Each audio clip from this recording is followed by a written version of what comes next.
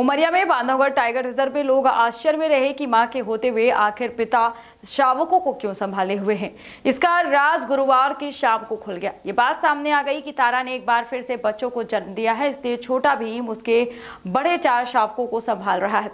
दो दिन पहले ही एक तस्वीर सामने आई थी, जिसमें छोटा भीम तारा के चारों शावकों के साथ नज़र आ रहा था, जबकि तारा पिछले कई दिनों से कभी कभार ही नज़र आ रही थी।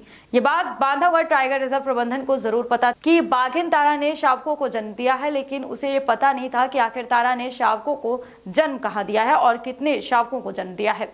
गुरुवार की शाम तारा अपने दो नन्हे शावकों के साथ नज़र आई, जो लगभग चार से पाँच सप्ताह के थे। इन शावकों को लेकर वह ताला बांधवगढ़ टाइगर रिज़र्व के खितौली जोन में वहीं दिखी, जहाँ अक्सर वो नज़र आती है।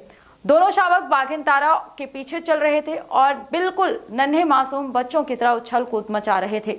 दोनों ही शावक पूरी तरह से स्वस्थ हैं। इसका पता ऐसे चला कि दोनों ही शावक एक दूसरे के आगे निकलने की जद्दोजहद कर रहे थे। शावकों की ये चंचलता उनके स्वस्थ होने का प्रमाण थी।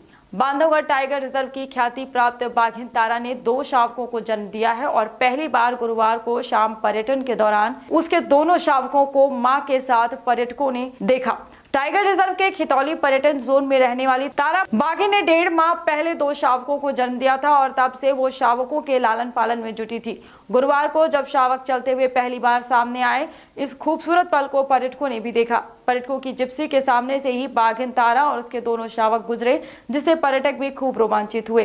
टाइगर रिज़र्व के उप वन मंडलाधिकारी सुधीर मिश्रा ने बताया कि बाघिन तारा अपने दोनों शावकों को वाइल्ड एनिमल बनाने की दिशा में प्रयास कर रही है। हालाँकि दोनों शावक अभी माँ की फीडिंग कर रहे हैं, लेकिन उन्हें अपने शिकार का इंतज़ाम कैसे करना है, इसके लिए माँ उन्हें लेकर पहली बार संघर्ष के सफ़र में लेकर सामने आई है। बाघिन तारा बांधवगढ़ की प्रसिद्ध बाघिन है, जिसने तीसरी बार शावकों को जन्म दिया है।